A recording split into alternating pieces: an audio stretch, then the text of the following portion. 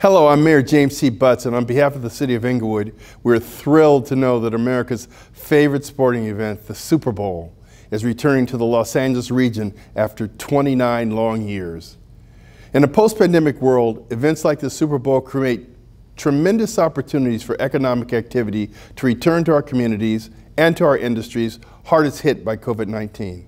Thanks to the NFL and its Super Bowl Business Connect program, 250 local, diverse, and event-ready businesses will be granted the opportunity to earn contracts related to Super Bowl 56.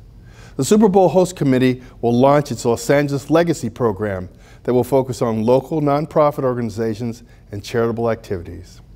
Major events like the Super Bowl not only spur economic activity, but produce a heightened sense of community and civic pride.